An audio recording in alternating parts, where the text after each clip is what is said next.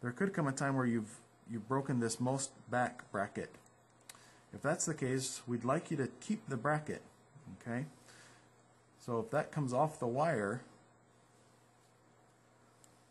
go ahead and grab it, save it, put it in a Ziploc bag and bring it in for us. What's going to happen in that case is you've got a long piece of wire that could poke your cheek. If this is bothering you, one option you have is to clip this at home. You're going to need two items for that. You'll need a small piece of gauze. And you'll need some sort of clippers or clipping device to cut the wire. If you feel comfortable doing this at home, the first thing you'll do is take the gauze and put that in the patient's mouth behind the wire you're going to clip. That'll help to keep it from losing the wire after you've clipped it.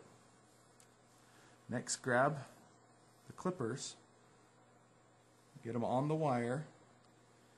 Make sure you're not going to clip any sort of gum or tissue or, or skin or anything, and go ahead and make a clip into the wire. If you're able to cut it, now you've got a short extension out of here, but no wire back here.